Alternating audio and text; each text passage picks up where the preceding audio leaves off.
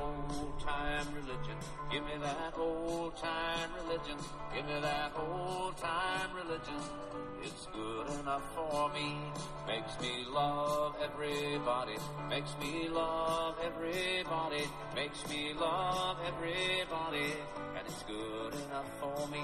So give me that old time. All right, Willie Nelson bringing us into the old time religion of Moses here. we had Go Down Moses, and then we had old time religion going at the same time here. Or not at the same time. Do you, do you know the, the next verse? no. Can I put the next verse real quick? Yeah, go for it, Just go real, for it. Uh, real quick. Good for our mother. It was good for our mother.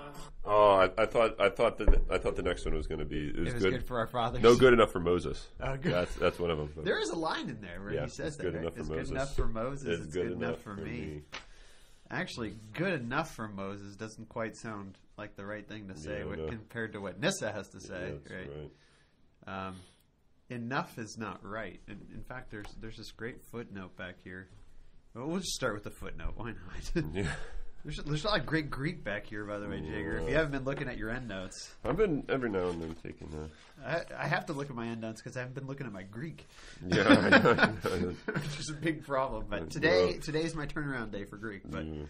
um, on footnote 198, uh, I found this to be interesting. Um, it's right after he talks about. I mean, this is kind of getting all the way to the end of the text already. The really, really good stuff at the end. Um, his his his comment on um, page 95, Gregory's comment, um, where he says, um, and this is just. I mean, I've never thought of this passage of scripture this way, but I think it's just fascinating. Uh, John the Sublime, of course, that's John the Evangelist, penetrated into the luminous darkness, says, No one has ever seen God. Thus asserting that knowledge of the divine essence is unattainable not only by men, but also by every intelligent creature. So, uh, the commentary at one point says, uh, Chrysostom specifically states angels as not knowing God's na- God's nature, which is obvious. I mean, it's got to be true, right? Um, depending on what you mean by knowing, of course. Um, but this passage, no one has ever seen God. Um, normally, you think of it as because no, only those who have died can see God. But the way that Gregory takes it is no, no, no. It's it's it's it's comprehensive. No one, no creature, has ever, either after death or before death, seen God in the sense of seeing that we normally think of seeing. Yeah, yeah. Um, but but anyway, this it's it's it's that phrase "luminous darkness," which is paradoxical. Um, what what um, what our, our commentators, I, I keep I got to give them credit. I keep keep forgetting their names. Eberly, uh, no, Malherbe and Ferguson. Um, he used or they refer to it as the use of oxymoron. And uh, they actually point out a bunch of other places that he does it. So if you look at page 178 at the top, um, which is which is and note 198, um, he talks about how Gregory delights in these paradoxes: sober inebriation, watchful sleep, passionless love, wise folly, stationary movement, and maybe best of all, Oh, no. living death. Um, and then he gives all the all the different places where that is, and a lot of those is actually in um, the commentary on this Song of Songs. So um, I think we're gonna we're gonna see some of this stuff happening later. I, I have to make this comment. Yeah, In the Phaedo, Plato of course you do. Know, talks about uh, the um, the philosophers.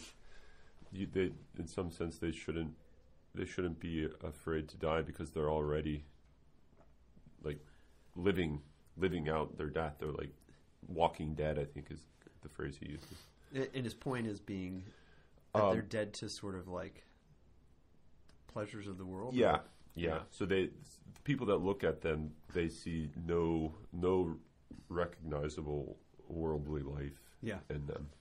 And this is why uh, this this great comment by Gregory, this, and this goes this goes back to an earlier one. I don't think we brought it out, and I'm probably not going to find it. But it it was so fascinating to me about the virtuous man, um, and how the virtuous man is is seen as as like worthless to the world. Do you remember this?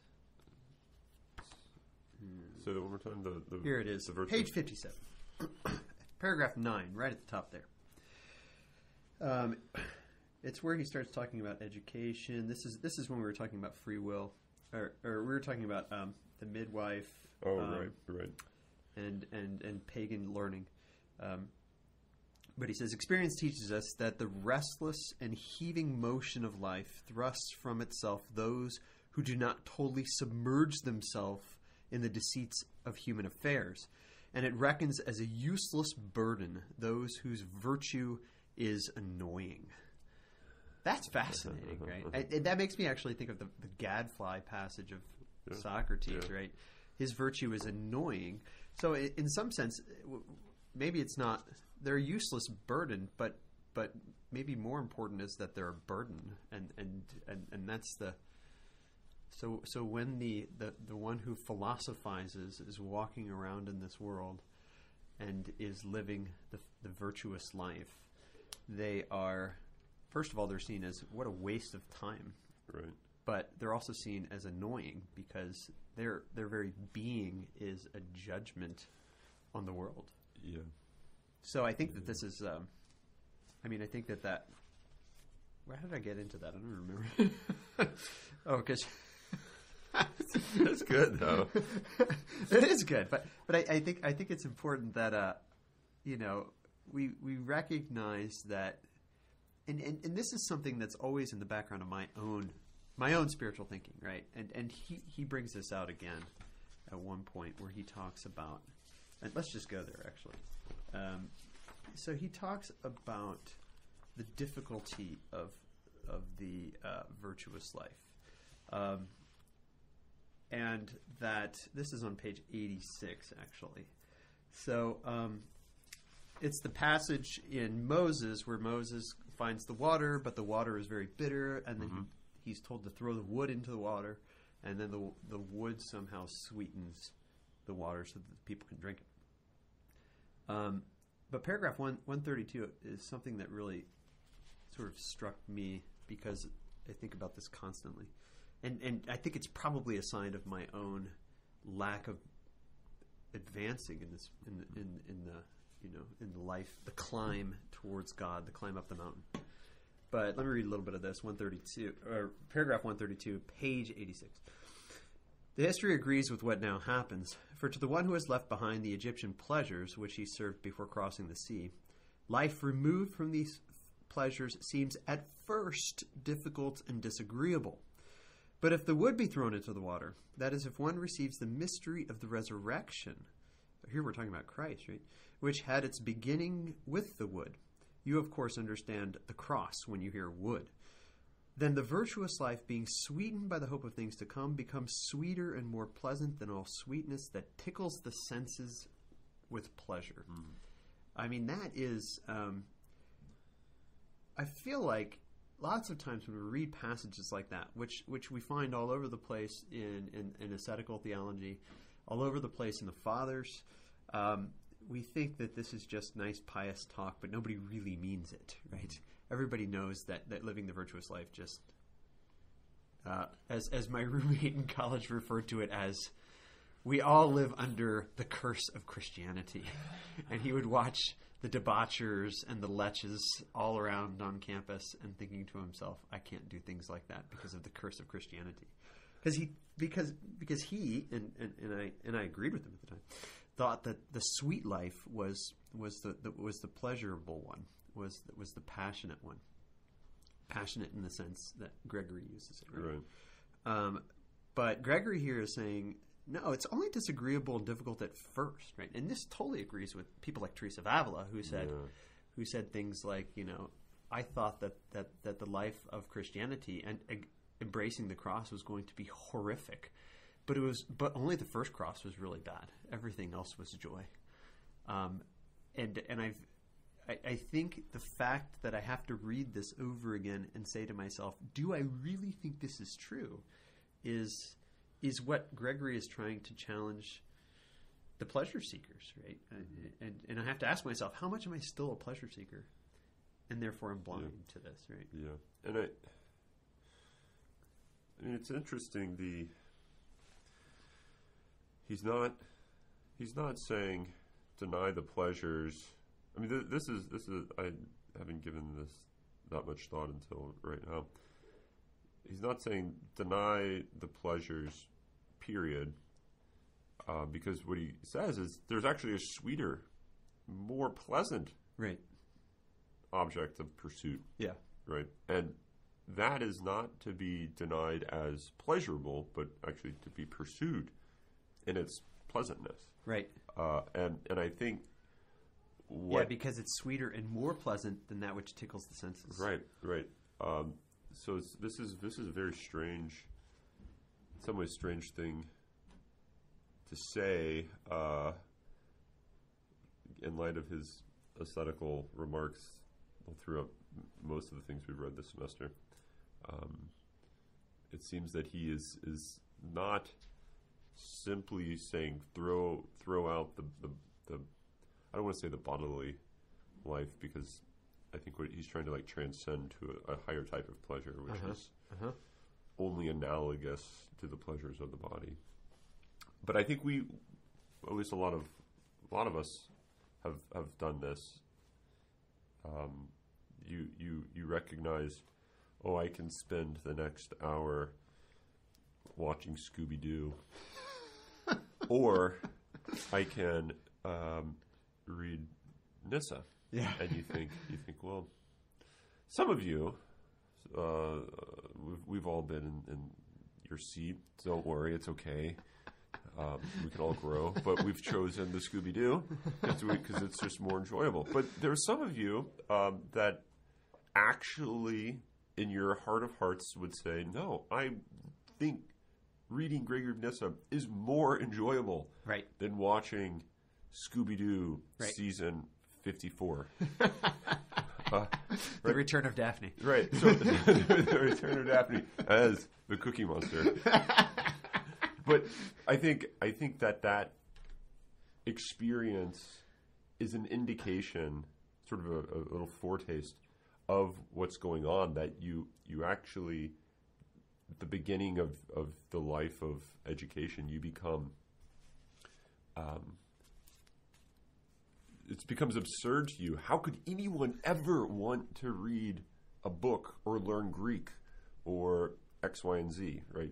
Fill in whatever sort of intellectual pursuit you're, you're engaged in. And then all of a sudden, at some point, you realize, no, this is actually not just good, but pleasant. This right. is. It's this not is- just good that I have to grit my teeth and bear through. yeah, yeah, Yeah. Like, shoot, I wish I could just snap my fingers and all of a sudden have everything that I need to know be known. Because in some in some ways, the pursuit of this is the end of the activity Right. itself. Right? It's the learning of the language.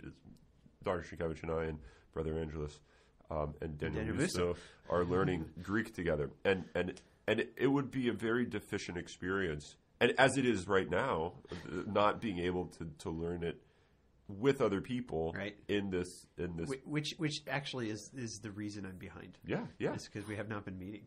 right and and I think that experience of the pleasantness of learning declensions Yeah. um, would be something that is completely foreign to a lot of people. Yeah. Uh, and I think something analogous to that is going on with um, in Nyssa with the sacrifice of lower pleasures for higher pleasures. Um, I, which- and and but the the key here is right. You, you can't actually have the higher pleasures unless you sacrifice the lower pleasures. right. Right. So so And then they cease to be pleasures, then, right? So it's not Yeah. like, oh, you're. I mean, what's weird is you, you you cast them to the flames. yeah, you're you're kind of disgusted by them, right? Yeah. I mean, and and that's um, this is what this this whole section is all about, right? This this is sent to God, which happens by this putting behind other things. So let, let me make three three points that all came to my mind as you were talking. Okay. okay. Number one, who would choose Nyssa over Scooby Doo? Who's the first person that came to my mind? You, you want to guess? I'm thinking of that remark you made before we hit play or hit record. The, the uh-huh. two the two TV characters, but no, no, no. okay, No, not that one. okay. No, this guy we live with and and and uh, work with, and he's right down the hall from us. Who would be the first person to pick up Nyssa and and and dis- be disgusted Oh. by Scooby Doo? Ed Matrowski, Ed right? Ed, Ed, Ed Matrowski is living this life, right? Yeah. In many ways. I mean, I think in some ways he wouldn't know that Scooby Doo existed. A- And, and if and if it was pointed out to him, he would wonder what would be the draw of anything of that nature. Yeah, why? why would someone? Why would someone spend time drawing Scooby Doo cartoons? Yeah. Like, what, what's the point, right? Mm-hmm. So, so I, I think we, we, you know, and, and Gregory's big on this, right? And, and and even in this section, gosh, it's all over. The, as we talk, I'm thinking of all these sections now, but I have no idea where they are in here. Where he says specifically, you have to find a person who is doing this, right? And you have to follow that person. Mm-hmm. And and so, in many ways, I think Ed Maturowski is is a living, um, a living teacher that we, we should be following, right? So that's the first point. Second point, um, this idea of, of of pleasures becoming sweeter with in combination with sort of asceticism sounds to me like also Epicurus, who you've told me about, Ooh, who I have not read, uh, Oh, but man, but I but I've been struck by this that you told me a long time ago that that sort of our, our use of the adjective Epicurean Yeah. is an idea that you just plunge yourself into bodily pleasures full force, right? Bring it, bring them on. Whatever's whatever whatever tickles my fancy, um, bring it on, right? Right. But Epicurus was disgusted by people like that, Yeah. and he said the only way to truly enjoy a piece of pizza is to not eat a piece of pizza for like two weeks, Yeah. And Yeah. maybe not eat a lot of things for Yeah. like two and weeks. and he and it's it's somewhat ambiguous, uh, at least in in the I'm certainly no Epicurean scholar, uh, but it's somewhat ambiguous in some of the stuff that I've read of his um, about whether or not the truly the person living the truly pleasurable life would even want to eat the pizza out of the recognition that pizzas are a sort of good that one would take pleasure in beyond what was say at hand what was sort of what was there so the the idea of the um the the near occasion of sin is present in the pizza because then you're going to desire pizzas when all you have at hand is stale bread Interesting. so if you eat a piece of pizza, what might actually happen is you might spend the rest of your time, you know, Wishing you didn't wishing have stale bread. wishing you didn't have stale bread, right? Interesting. So so he so I so at least he says the prudent person is the person who foregoes those things, at least in most situations. Maybe all situations. I'm not. It's, this is what's sort of unclear. But in most situations, you forego even the, the the high goods to you, out of this recognition of the effects that it could have on your uh, future, what it's going Yeah. to do in regards to your perception your quotidian future, your Yeah. everyday future. right and so then you think that one time that i ate that pizza that was it now look at me i'm right and you're, you're I'm eating stale bread yeah, you're, every you're day. wallowing in the Yeah. in the stale bread store Shoot, man, that's something really. To, that's so, that's something so then, the, so then the truly pleasurable person is the the pleasant person the person living the pleasant life is the person who just is is willing to just embrace what what nature provides he Yeah. says That sounds very Water. Nietzschean. Yeah, yeah. Water and uh, stale bread. Maybe some locust every now and then. Really? wow, he and John the Baptist would have been buds. So, so it's it. Uh, yeah. So so so there as as um, uh, Seneca, who was a Stoic, which was the opposite um, philosophical camp. Like they were like complete opposite ends of the spectrum. The one said the highest good is pleasure. The other, the Stoic, said the highest good is virtue, is, is sort of the life of, of, of virtue, life of reason. And uh, Seneca says that the Epicureans, the true Epicureans, there's too many posers out there. That's the problem. The true Epicureans, the problem. um, if if the posers realized and weren't hiding behind the name of Epicurus, they would realize just how quote pleasurable the life of Epicurus was. that they probably wouldn't be Epicureans. Yeah, yeah, Right. yeah. Man, that's awesome. Yeah.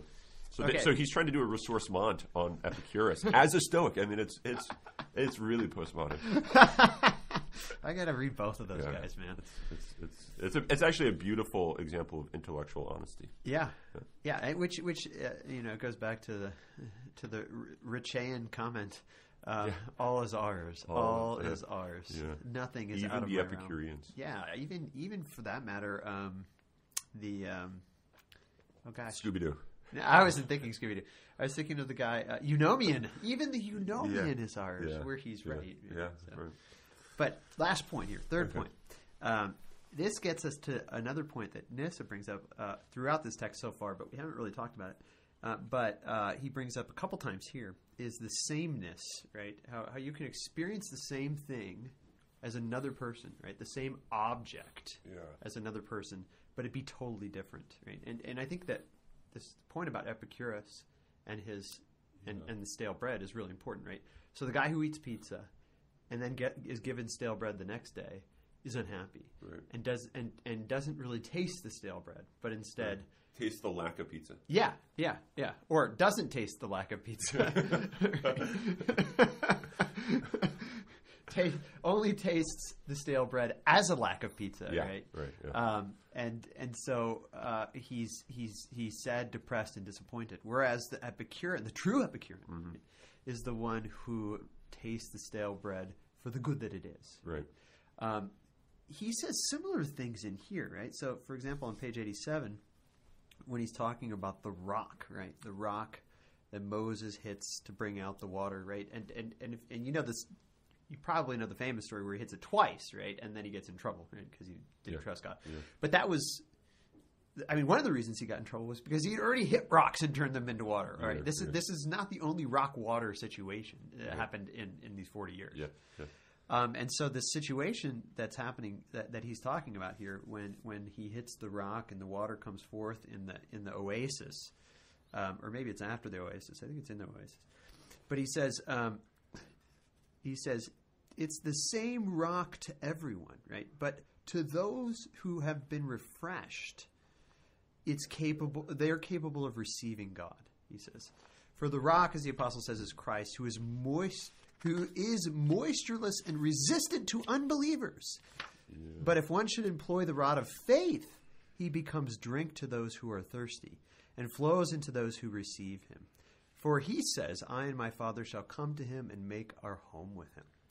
So there's this very interesting thing where even you know, uh, and maybe this this this kind of gets into the realm of, of, of sort of evangelization and in, in, the, the postmodern world that we live in. And you look around and you see all these people, and they just shun Christ as been there, done that kind of thing. Who would, who would actually follow that? That's that's such a such a worthless way to live, right? There's so they're, they're, you're missing out on life. Um, but of course they would say that because he looks like just a rock to them, moistureless and resistant to unbelievers. But the one who has the rod of faith sees Christ as the as the as the one who satiates the thirst, right? The one who quenches the thirst. But it's the same rock, right? And, it, Yeah. and, and this happens all over the place, where it's the same thing that's being encountered, but being encountered by the virtuous one, the one who philosophizes in the virtuous life, Right. is something different is seen than the other person, right? I think he makes the, the comparison with, with the Egyptians in the water and, and Yeah. and Israelites in the water, right? Right. Um, right. And so the the principle are similar. I mean, it, it's along these lines on page eighty two, paragraph one nineteen. This comes up again a little later. Actually, where where you were referencing with the rock, um, one yeah, paragraph one nineteen. Then occurred the manifestation of the divine nature, which manifests itself in the way that one is capable of receiving. So, so interesting that what he's I think two two aspects of that are interesting. That God is going to have to not have to, but if He's going to manifest Himself, it will be according to the mode of the receiver. Mm-hmm. Otherwise, there's there's no sense in revealing oneself if it's not according to how one can receive the revelation of it. Right? And then second, that means the receiver has to be in the proper mode of reception in order to receive that revelation Right. Right so so you don't you don't come to you're not going to be capable of understanding geometry if you live a life of Scooby Doo. Uh, Right. The, the mode of reception of geometry is not via Cartoon Network. Shaggy doesn't teach you about right triangles. No, no, you're not going to get you're not going to get how to how to prove the uh, Pythagorean theorem from Shaggy. Although Velma maybe. Okay. Wow, this analogy is really, really taking on a life of its own. Sorry about that.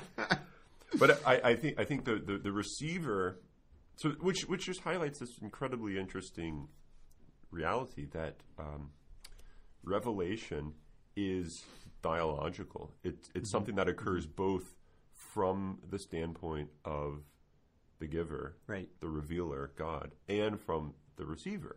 Otherwise, there would be no revelation if there wasn't a reception of it. Now, that doesn't mean everyone has to receive the revelation, but that there's some active role that we play in th- the revelation of God being brought to its its end, its its perfection. Yeah, I, I- I wonder how much we're, we we miss out on on the idea of receptivity when we have this uh, when we live in this sort of very uniform, mechanized, post-industrial world where everything comes out the same.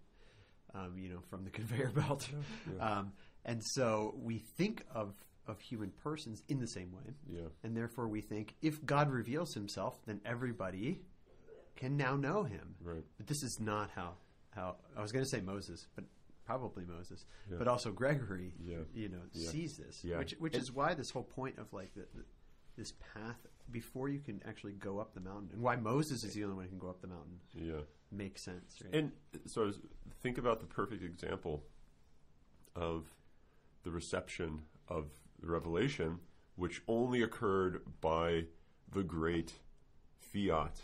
Um, so, so I mean, Mary is the example of how revelation is made incarnate. I mean, Yeah. how, how, how revelation occurs, and it's it's only by way of, of a of a perfect receptivity right.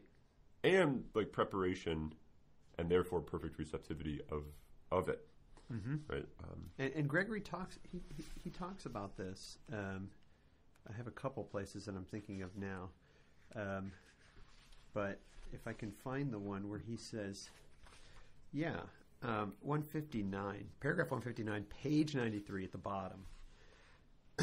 he talks about the trumpet blast and how it gets louder as you move up the mountain. yeah Right. And then he takes this and, and, and turns it into a the spiritual interpretation of basically the history of the world, and specifically Israel, where he says, The law and the prophets trumpeted the divine mystery of the incarnation, but the first sounds were too weak to strike the disobedient ear. Right? So, so it's specifically, no, it's not just that they were too weak for people to hear. It was too weak for the disobedient ear. So the receptive, the Yeah, receptive right, side right. wasn't able to receive it. Therefore, the Jews' deaf ears did not receive the sound of the trumpets. As the trumpets came closer, according to the text, they became louder. The last sounds which came through, which which came through the preaching of the gospel, struck their ears, since the Spirit, through His instruments, sounds a, a noise more loudly ringing and makes a sound more vibrant in each succeeding spokesman. And the instruments, th- these instruments are the prophets and the apostles. And, but it's interesting to think, before they were apostles, um, they were the deaf Jews, right? I mean, the apostles were all Jews. So the, they were the deaf Jews. It was only when it became louder that they were able to hear. I mean, sometimes I think we sort of, um, you know, we think of the apostles as being just these awesome dudes, right? Uh, which is the opposite of what I was saying. Like we think of them as bumbling idiots sometimes, Yeah, and then yeah. awesome dudes other yeah, times. Um, but I think here Gregory's kind of pointing out, like these guys were deaf until he came, and even when he came, they were deaf. Right, going back to this idea that they didn't understand what he was saying until the resurrection happens. Right, Right. because there has to be there has to be using Christ's own term, there has to be good soil that is prepared for the reception of the word. Right? Um, and so, two pages before that, on page 92, is where he kind of gets into the fact that not everybody can just enter in and see God, enter into the darkness and see God. Um, this this whole paragraph 153 is really interesting. Let me read some of it. He says it would be better next, in keeping with the order of the history, to harmonize what is perceived in, with the spiritual sense. Whoever looks to Moses in the cloud, both of whom are guides to those who progress in virtue. Moses in this place would be the legal precepts in the cloud which leads the proper understanding of the law, who has been purified by the crossing of the water, who has put the foreigner to death and separated himself from the foreigner, who has tasted the waters of Mara, that is, the life removed far from pleasure. By the way, that I'm, I'm now thinking Mara is the same as root as Mary, right? Which means bitterness. Um, which, although appearing bitter and unpleasant at first to those tasting it, offers a sweet sensation to those accepting the wood, who has then delighted in the beauties of the palm trees and springs, which were those who preached the gospel and who were filled with living water, which is the rock, who received the heavenly bread, who has played the man against the foreigners, and for whom the outstretched hands of the lawgiver became the cause of victory, foreshadowing the mystery of the cross. He it is who then advances to the contemplation of, of the transcendent nature. But it's only after all this has happened in the mm-hmm. history of Israel, and, and, and, and as we've been talking about in this, right, in the history of your own life, right, um, which, which, is, which is embedded within this history of the people, the, the one Adam, right? Um, only when this happens are you able to advance to the contemplation of the transcendent nature. It's the person who has be- become pure in all things, as he says. Um, on the next page, he talks about the irrational animals being left behind and kept away from the mountain. Right? Only when all of this stuff happens can someone actually see God. Right, and but then you know, of course, what does it mean to see God? Yeah. is is and, and and here's where we get really, I think, into the heart of Darkness. the dark, the heart of heart of darkness. darkness. There we go. Heart of, Joseph Conrad, by the way, was Polish. If you didn't know, Hmm. I have to pull up, point out my Poles. Here's a here's a, a question. This is, uh this is right after where you where you read on paragraph 160, page 94. Yeah, Uh, and this was something that was somewhat in the back of my mind. I didn't think it was that important, but now I'm, I'm starting to wonder how significant this is. So, 160. The multitude, is that the uh, Israelites. the Pis-? Or no, uh, Pisonte? No, no, no. Uh, It's Pon- uh, Pon, no, Pon, it's, it starts with an ah. Ak, aklas. Aklas, the multitude. Aklas. Yeah, that's right, Aklas. Yep. The multitude was not capable of hearing the voice from above, but relied on Moses to learn by himself the secrets and to teach the people whatever doctrine he might learn through instruction from above. This is also true of the arrangement in the church. Not all thrust themselves toward the apprehension of the mysteries, but choosing from among themselves someone who is able to hear things divine, they give ear gratefully to him, considering trustworthy whatever they might hear from someone initiated into the divine mysteries. So, so here you have this this fascinating reality of the, the church that not all are um, Not all are po- apostles, not, nor are all prophets. yeah as he said and As he says it right in the next right line. right and and so so you have this not all are going to climb the mountain. And and you don't need to climb I mean quote unquote need to climb the mountain to be um, to flourish in, in a sense right? Uh, to flourish as as a non a prophet or a non apostle um, and and I, I think this this is for me kind of difficult to wrap my head around in light of what I what I take this life of Moses to be an allegory of, and in some sense, in light of the baptismal, what are they? What there's the technical term in virtue of being baptized, all become priest, prophet, and king, Uh-huh. whatever the that. three munus. Yeah. Yeah. Um, that how how is it that that through baptism all aren't all? Um, And and I, I don't I don't know. It, it it it looks like what he's saying is you have the multitude kind of through their weakness and the recognition of their weakness um, are per- I don't know if you want to say permitted, but they're they're kind of ordained not to be ordained. they're they're ordained not to be Yeah, yeah. seers. But they, but they, but they can, in a sense, climb the mountain They they on the backs of the seers. They they can, but but I think that but that's what is it to to not what is it to know God as unknown when the only way to know that is through the reports of others, which which I, I don't, don't get me wrong. There's nothing that's not like mm-hmm. a bad thing, but that's not. I don't think that means you're climbing the mountain.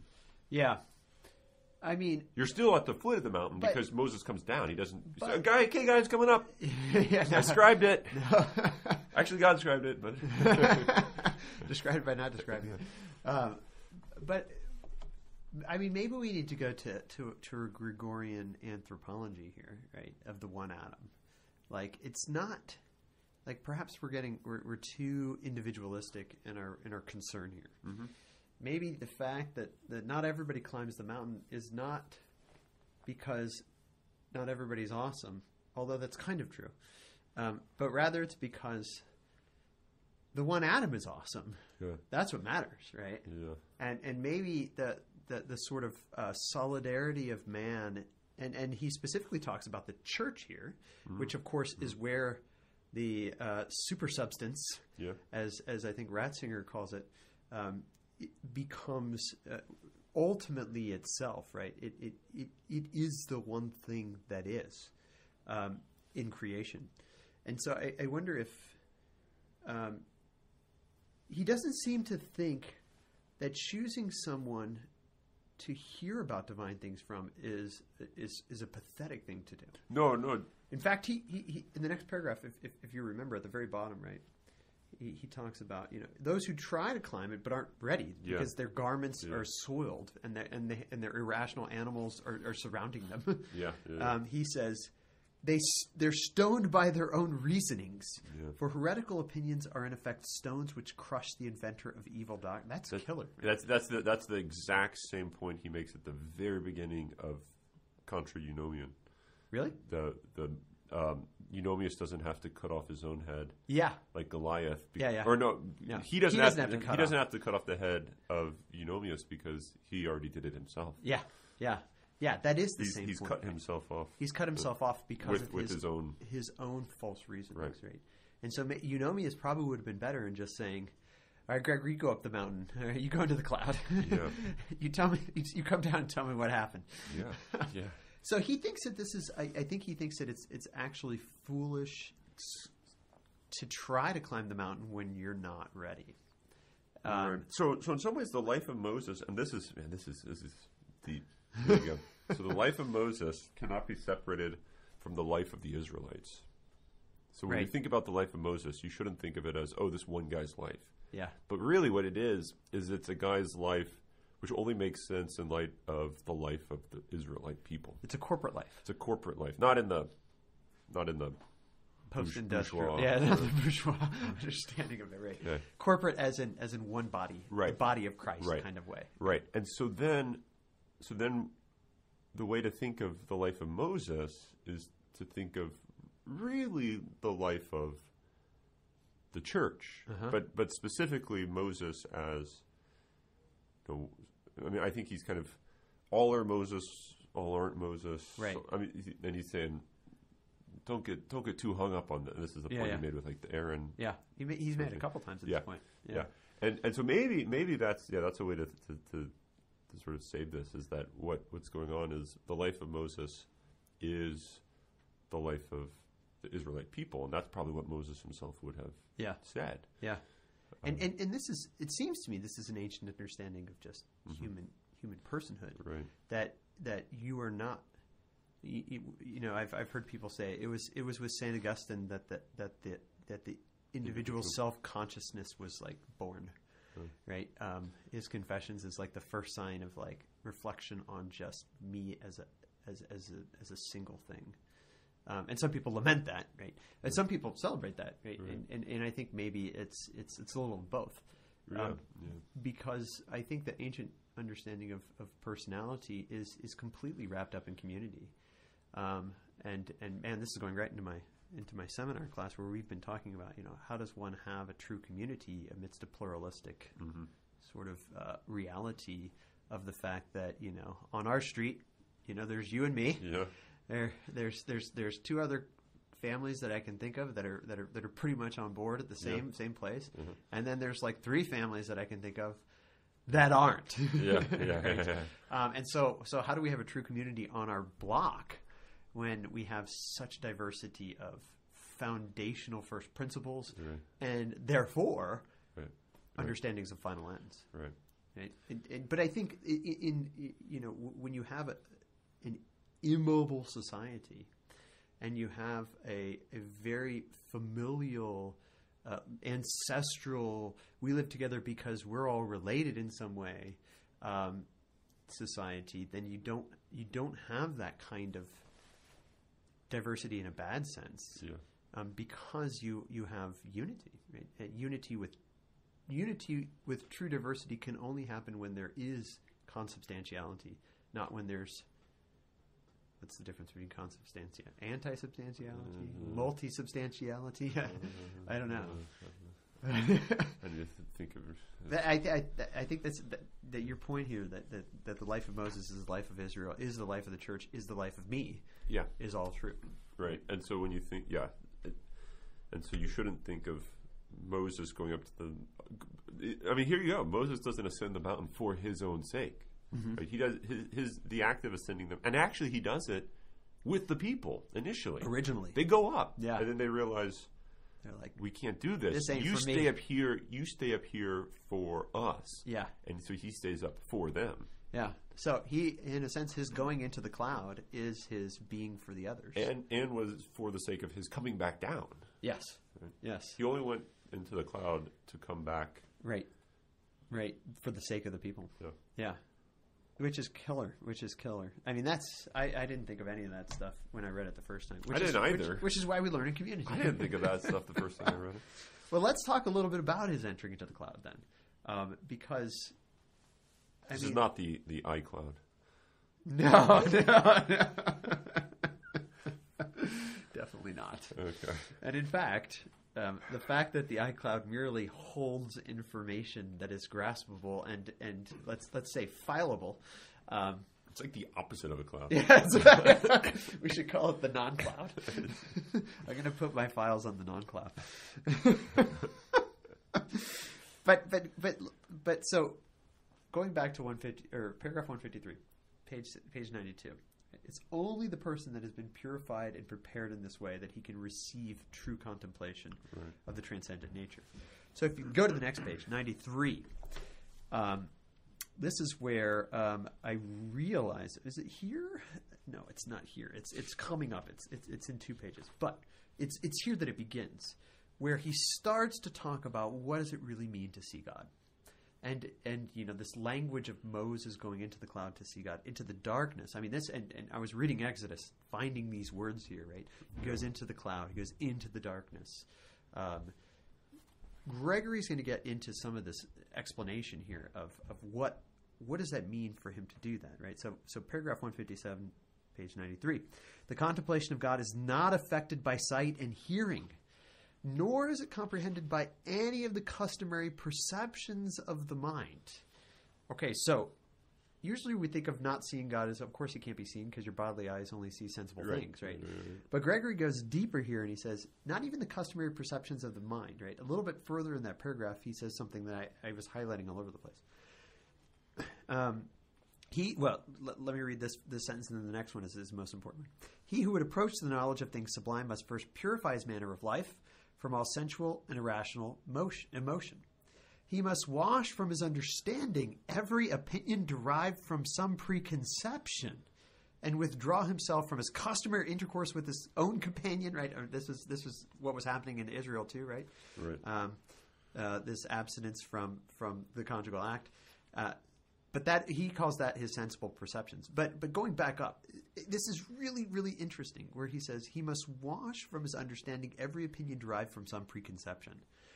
This is, I think, I mean, this is Heidegger.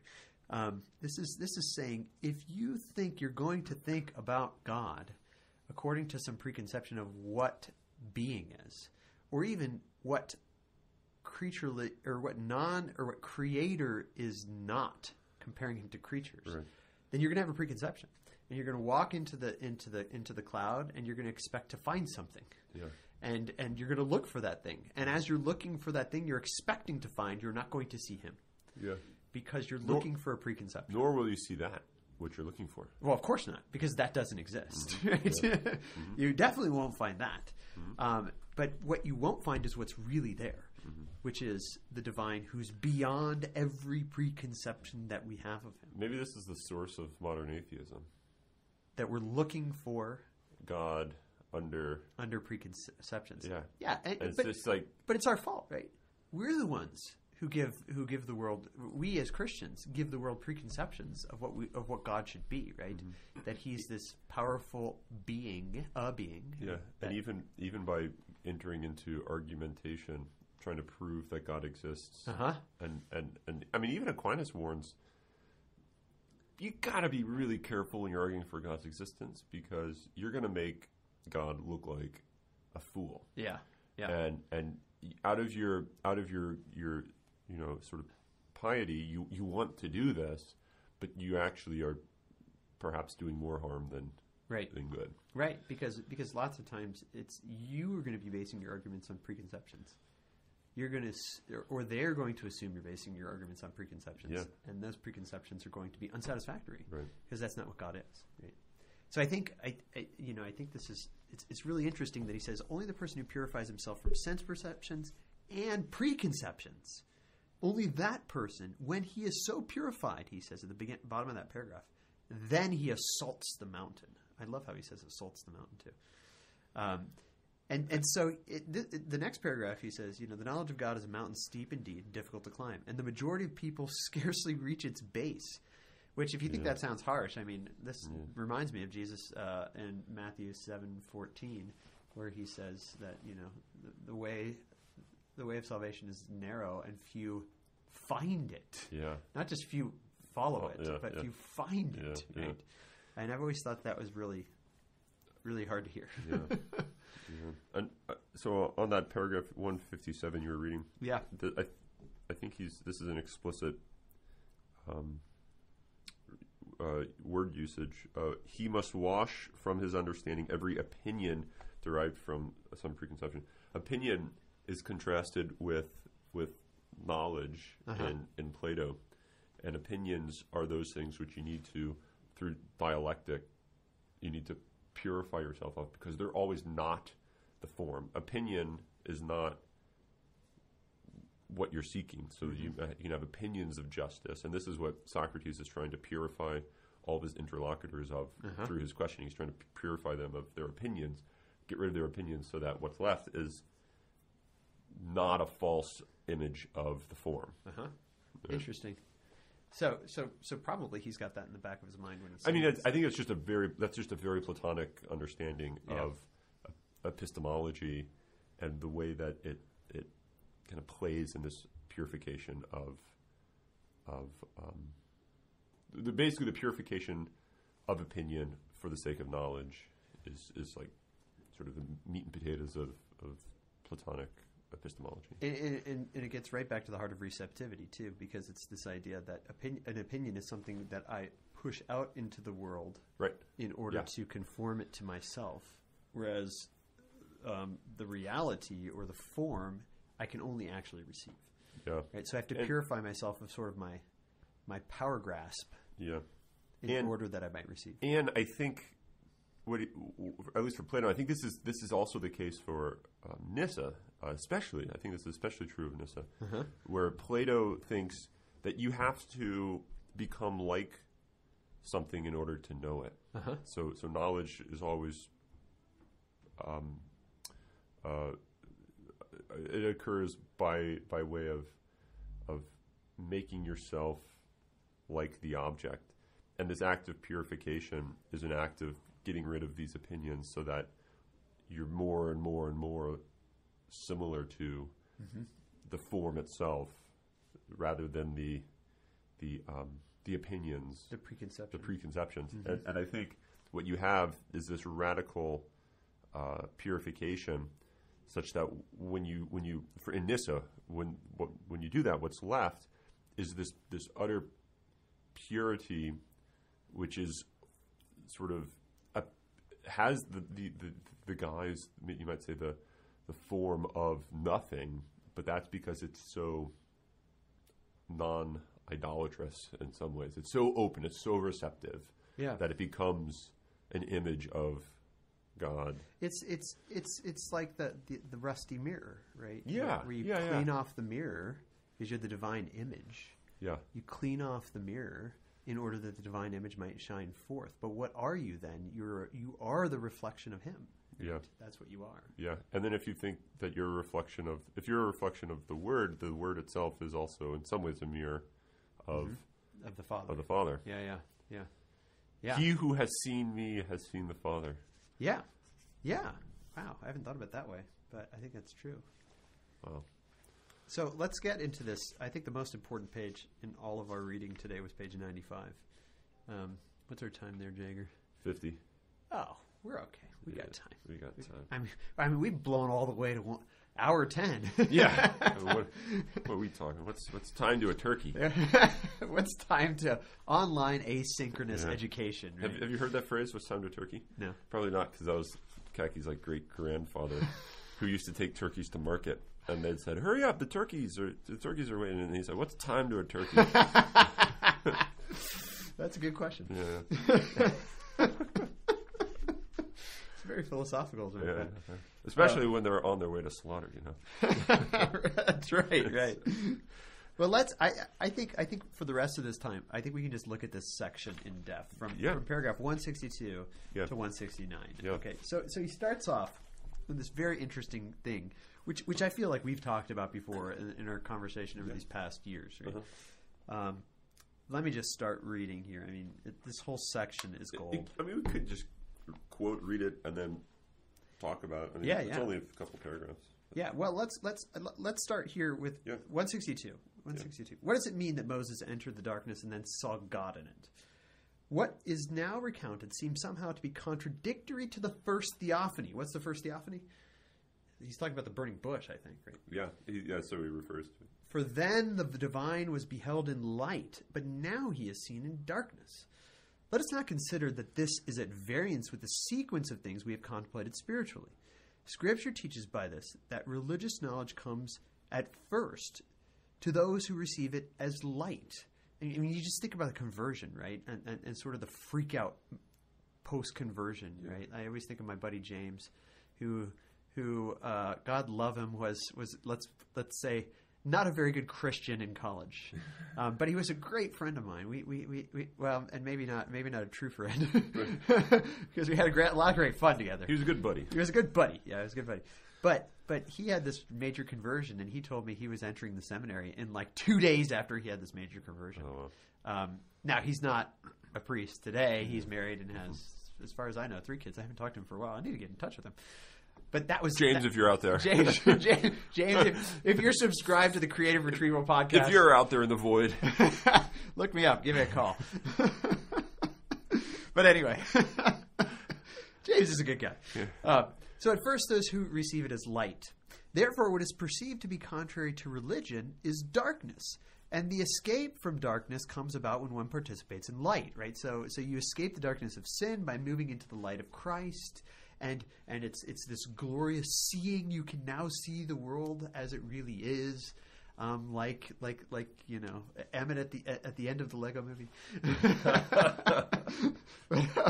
he goes on, but as the mind progresses, and through ever greater and more perfect diligence comes to apprehend reality, as it approaches more nearly to contemplation, it sees more clearly what of the divine nature is uncontemplated right? And it's so so there's something about you see the world for what it is, but then you recognize, yeah, it's everything's actually more than that. And I can't see that, even though I can see now because of light. There's something about, and I love how he starts the next paragraph. Leaving behind everything that is observed, leaving behind everything that is observed, not only what sense comprehends, but also what the intelligence thinks it sees. Uh-huh. Right? There's the preconceptions it keeps on penetrating deeper until by the intelligence's yearning for understanding it gains access to the invisible and the incomprehensible and there it sees god right so this light that comes about at first and lets you see reality ultimately you have to come if you if you keep going you come to the realization no, this is mm. not really seeing reality. At least I see, in a sense, the darkness, the true darkness of sin, we might say. Right. Or maybe it's not the true darkness. Which is the true darkness? I don't know. But Which is darker? yeah, yeah, it's like that Angelus Silesius, right? Yeah, um, yeah. Man, man, and God are abysses. Which is the deeper? Will you tell me? Yeah. Um, but you know, you see the darkness, or you see the light, and then you recognize no, that no, that light isn't really making me see the the true God. I have to even put aside what I see and penetrate deeper. Um, and this is where the great line, which I thought came from Pseudo Dionysius, and now I realize he stole from Nyssa. Um, this is the true knowledge of what is sought. This is the seeing that consists in not seeing, right? I mean, the first time I saw that was in Pseudo Dionysius, Yep. but now I see it here a seeing that consists in not seeing. Because that which is sought transcends all knowledge, being separated on all sides by incomprehensibility as by a kind of darkness. And this is where the line of the luminous darkness comes in, and no one has ever seen God. Right? So, this, I think this, um, there's a progression in knowledge that he's talking about. Just like there's a progression in purity, uh, in, in order to even be able to receive knowledge, right? Yeah. Um, The person who, who becomes purified only after a while can now see the light of the divine presence. But only after further moving and further understanding and further purification does one begin to really apprehend reality and to see God as he really is by not seeing him, Right, yeah. right? By the darkness that surrounds him, which I think is. I mean, I, I think this is exactly where this is. This is the story of my own life, right? Um, where I moved, where I had a conversion, I moved into light, and then I started really studying theology, and I really thought I was getting it and seeing things, and then after a while, darkness started to invade, and I started recognizing I can't say the things I said before. Right. And so you either, or, or I, my guess is this was, I mean, same story for me. It's the same story for, I imagine, for all honest academics. Yeah, because because as as Gregory says, right, it doesn't matter that this was in Egypt or Yeah. Chaldea. Yeah. It's about everyone. Yeah, right? yeah, Yeah. And and I, I think initially what you want to do is you want to say uh, you want to avoid the darkness and cling to the light that you once had, Yeah, absolutely. and and and so you you you try to like even just ignore Yep. ignore what Cardinal Ratzinger is saying, Yeah. ignore what Balthasar is saying. right. And Right. then uh, I think after a while, the, the the honest intellectual will say, "I can't ignore it any longer. Yeah. I have to. I have to. I have to look at the darkness. I have to move into the the the unknowing." And, The- and this, that's that's an asceticism because what happens is you have to say everything I've done over the past ten years, I'm throwing out. yeah, And in, in one sense, you're not throwing it out, right? Because it was the past 10 years that got you to be able Yeah. to say, I can see. I need to throw it out. I can see the darkness. yeah. and the darkness isn't um, ignorance. It's a knowledge beyond Right. knowing and ignorance, right? Right. It, sort of move into this new way of understanding, which is, as he says, a non-understanding. It's an understand. How do you understand the incomprehensible things? Yeah. It's it's it's it's a knowing ignorance, right? I mean, to use a phrase that maybe Gregory used, I don't remember, but definitely is within mm-hmm. his line, right, of Yeah. the watchful sleep, and the, Yeah, yeah, it's a knowing ignorance, right? That's that's what's really happening here. So so let's keep going here. I mean, this is this is this is killer. So so when therefore Moses grew in knowledge, he declared that he had seen God in the darkness. That is that he had then come to know what is that what is divine is beyond all knowledge and comprehension. For the text says Moses approached the dark cloud where God was. What God? he who made darkness his hiding place, as David says, who also was initiated into the mysteries in the same inner sanctuary. Like, uh, okay, so, so you know, I, I feel like if if if uh, if Gregory wrote a sequel to the life of Moses, it might be the life of David, Life of right? David, yeah. And it would probably say the same stuff, Yeah, right? It yeah. would probably say the same. And we could probably look at the story of David and find a lot of parallels within this sort of understanding of his his role in Israel, his being the leader of Israel, the one who goes up the mountain, right? Um, but in a different sense, right? Um, there would be different um, accidental circumstances but it would be saying the same thing, right? Right. Which which fits right along with the prologue of Gregory's Life of Moses, which says it doesn't matter that we're talking about ancient Yeah, Israel, right? yeah, right. So I, I mm-hmm. think there's there's something killer going on here about this. The next paragraph, though, he, he talks about this is where God forbids then. In in the old law, there's a forbidding of any graven images being made. Right? Here, here's the here, here it is. Moses grew in knowledge, and you get some you get some little. Ex- Where are you looking? This is on where you just read ninety five. Yeah. Uh, 164. Moses grew in knowledge.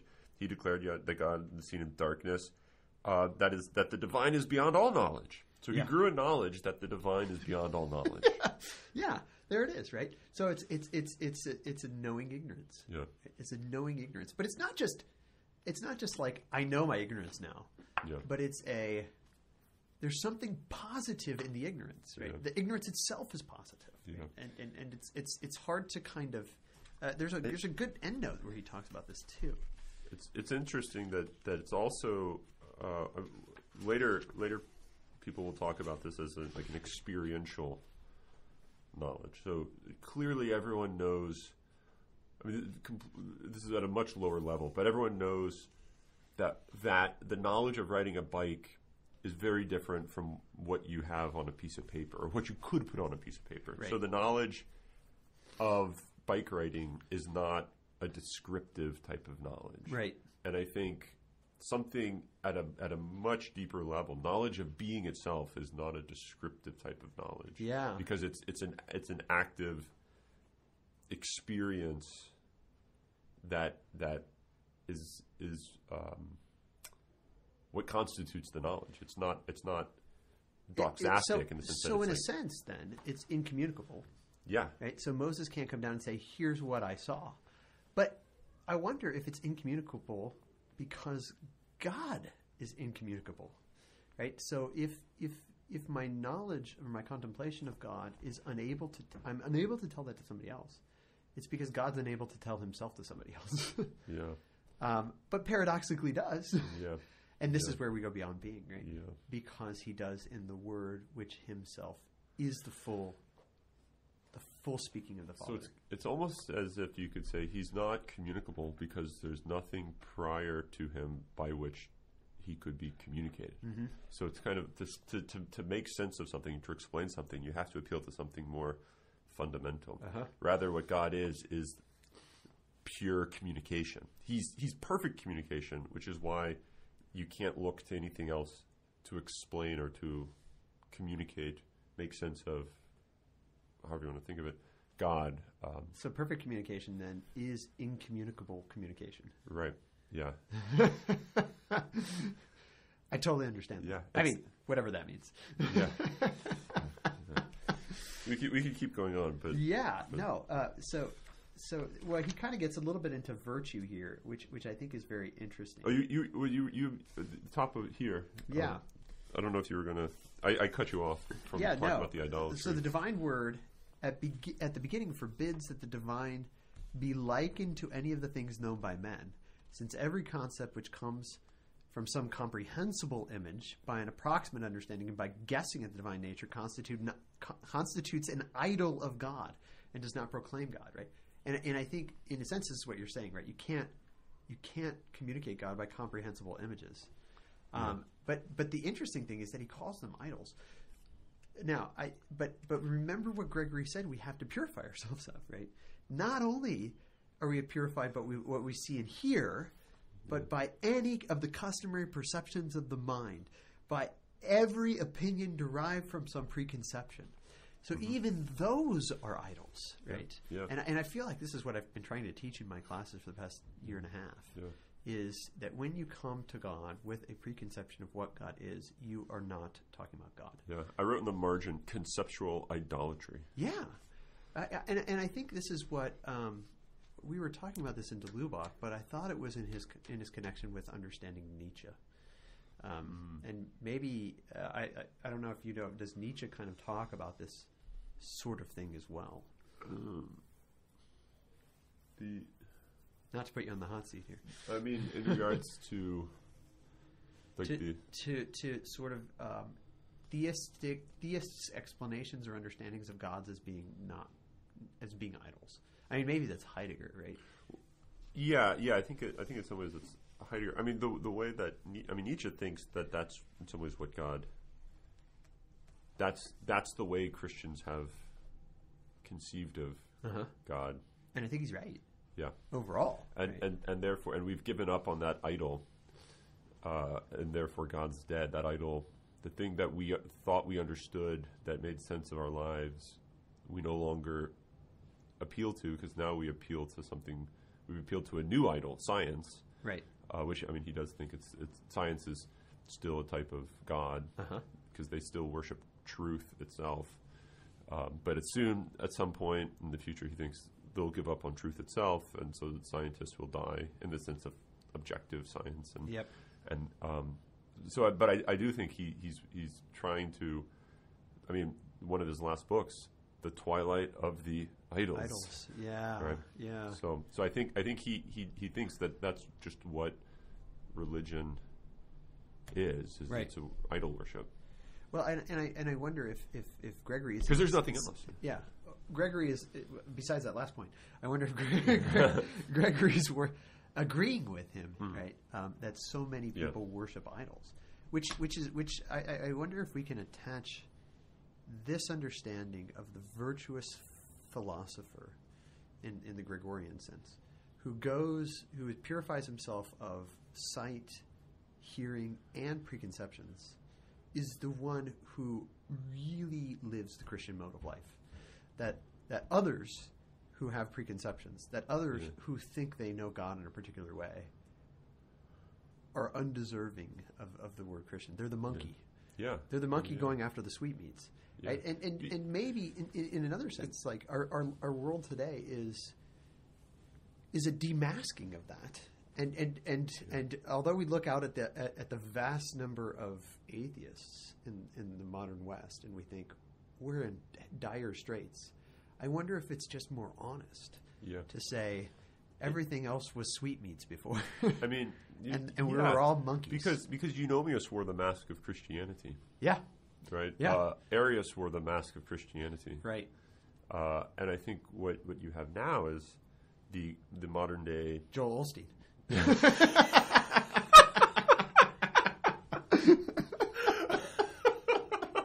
I mean, yeah. I mean, kind of, right? Yeah, yeah. But I was gonna, I was gonna say That's there an aren't extreme example. Yeah, I was gonna say there So is aren't. Arius. yeah, so there aren't as many mask wearers because they, they, they don't. They're not trying to, to they're not trying to be um, Christian, right? Right, Because because right. they, they've they've they've given up on that idol. Yeah, because in a sense, the culture has it, it's no longer advantageous to be Christian. Yeah. I mean, even back when we were kids, well, maybe when I was a kid, Yeah. you're forgetting how young you are. Uh, when I It was, was, a kid, it was it was in the it was in the eighties. Yeah, but, but even you know even even back when, when, when both of us were kids, right? I, the, I mean, the American, just as an example, I'm not saying that this Yeah. is the end all be all. The American politicians would Yeah. appeal to their own Yeah, Christianity yeah, yeah. and to their own belief in God, Yeah. and and and in my own lifetime, I've seen that waning more and Yeah. more and more and more. Yeah. You know, to where uh, uh, what was the great line of John Kerry when they asked him what his favorite Oh yeah. I Um, forget what this was. Right? What was it? What's your favorite passage from from the from the Gospels? And he started talking about Job or something, Yeah. or Jonah. Yeah. and, Yeah. and, I mean, that Yeah. was like when when when we when when Christianity in politics started to jump the shark. Yeah. Now it's just basically unreferenced, Yeah. Yeah. right? And it, and it's and it's not seen as being necessary to be referenced. Um, and I'm not saying we should lament this. I, in some sense, we should. In, in another sense, uh, if uh, let's call a monkey a monkey Yeah. right? And Yeah. and not call him a Christian. Right. Um, and most people are okay with that now. Hmm. And so instead of having fake Christians now, you just have non Christians, Yeah. right? Which which is, is in a sense more honest. And hopefully, and, and, and this is maybe where Ratzinger is going when he talks about the church being smaller but more vigorous Right. reality. Maybe what he what he means is that those who claim Christianity are the ones who are actually undertaking the mode of Christian life. Yeah. Yeah. But anyway, Yeah. We're Oh, probably man. out of time Oh, here. Unless you had any last points we didn't Oh. get to because I've been kind of running the Um, show here. No, Jigger. no, it's, it's your show to run though. Yeah, it is my show to run, but Um, but nonetheless, you know, uh, there's the really important war with Amalek, right? Yeah, Uh, if if yeah. you want to learn more about that, read read Therese uh, or Therese of Lisieux's letter to um, Father Roulland Mm-hmm. about uh, about her being Moses on the mountain and him being Joshua on the ground fighting the out. It's beautiful, Nice, yeah. beautifully done. Um, but he has other understandings here too, right? Um, but uh, and of course the manna is really important as well, um, especially sort of this this idea of preparing for the Sabbath. But um, there's there's a lot more here, but you know Yeah. we're probably out of That's time. probably good. But but but the key was the darkness, right? I mean I mean this is again this is one of the main reasons why this class is happening is I want to I want to really dive into this stuff. Um, and hopefully you guys Yeah. do too, and at this point, and, s Yeah. and seeing the importance You're of, of diving and, into the and darkness. So, the, so I, th- final, my final. This is Jager's final thoughts. um, that that if this is, if what what Nyssa says about God being known in this type of way, and therefore not being known in in other types of ways, more standard types of ways, that's going to require a new epistemology for um, for God, in a, in a sense, a, a new epistemology for maybe a lot of us. And so you, you shouldn't think about, okay, I want I want my my um, my brother or my sister or my friend or my boyfriend or my cousin to to come to believe in God. So what I need to do is I need to you know read a bunch of books on how to make your Right. brother, girlfriend, Right. uncle, what have you, believe in God. Uh, because it's like it's like when we were talking about how to, how to go on a date. yeah, because I think That was this podcast. it- the other one, I don't remember. yeah, yeah, yeah, yeah. But but I think if you're doing that, you're you're you're you're presupposing. You're basically saying, okay, how can I get someone to believe an idol? yeah. Uh, and that's a great danger. Right. This is this is why I think you have to be really, really, really careful about how to prove, quote unquote, prove God to someone. Right. Uh, because you might actually do more harm than, than good. I think Yeah. the best way is to um, show show the existence of God in your life. Manifested in your being. Yeah. Yeah, yeah. Because because if you read the book, "How to Make My Friend Believe in God," you didn't notice the subtitle. Eunomia, Eunomianism 101. Yeah, that's right. That's right. On that note, On that note, we need to make sure we stick with that old time religion.